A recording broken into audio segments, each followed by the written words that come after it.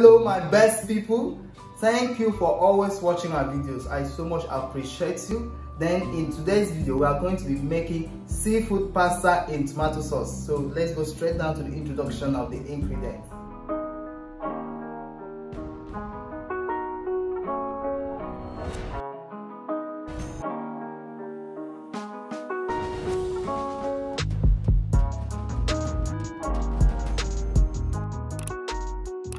Here are the ingredients for the seafood pasta we are preparing today.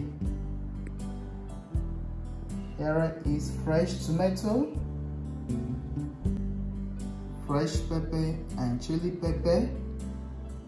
Here is onions, parsley, butter. Here on this box we have seasoning, salt, white pepper. Here is my minced garlic, vegetable oil, pasta, basil leaf, prawns, fresh fish. Here is calamari. Here are the ingredients I've just finished introducing. So let's go to the making of the pasta. First thing I'm going to do is to season all my seafood.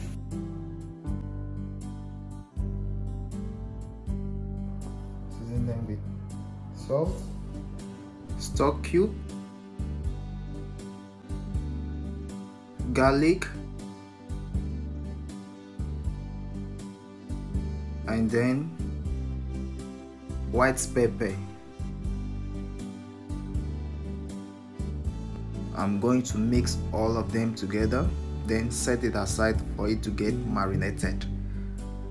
This method is going to be applied to both the fish and the calamari.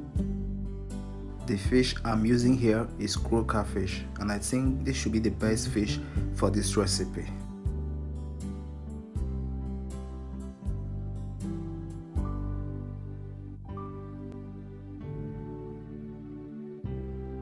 Here you can cut your calamari to any size of your choice. There's no crime in doing that.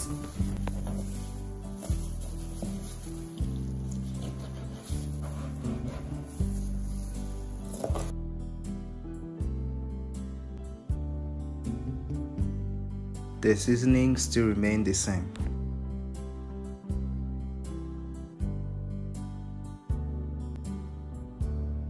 Before cooking further, I'll be blending my fresh tomato.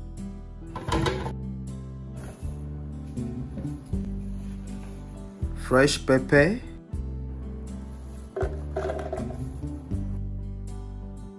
Then onions and set it aside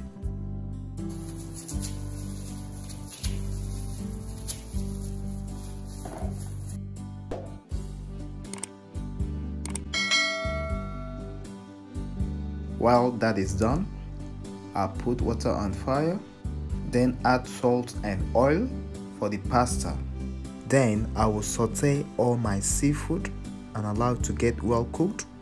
Then I'll set it aside for the next step.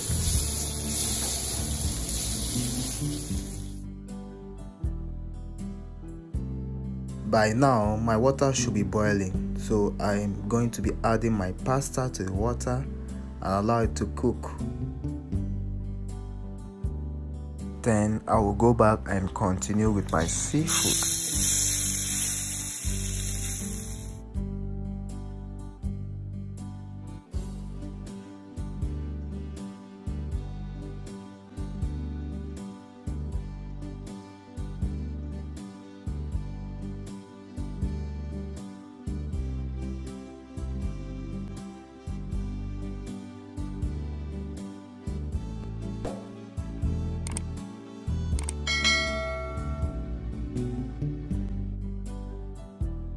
Once the pasta is properly cooked, pass it through a sieve and run it through a water to stop it from cooking. Then bring in your butter to a wok and add some quantity of vegetable oil. Allow it to get melt before adding your onions and garlic.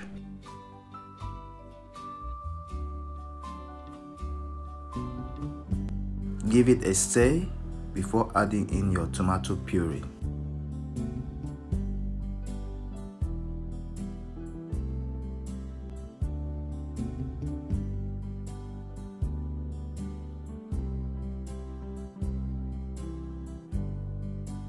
Once it's well cooked, you can now add in your seasoning cube and salt.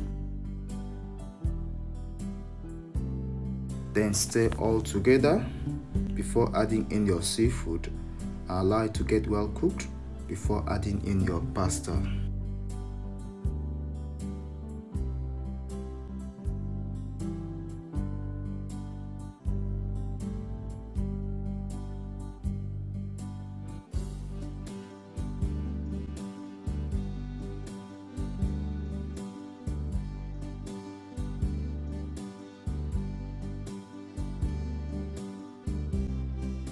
Allow it to be well mixed before chopping in your basil leaf. The flavor from basil leaf is so exceptional. That's why I love adding it to my seafood pasta. Mix everything together and allow it to get well hot before pulling it down. Then it's ready to be served.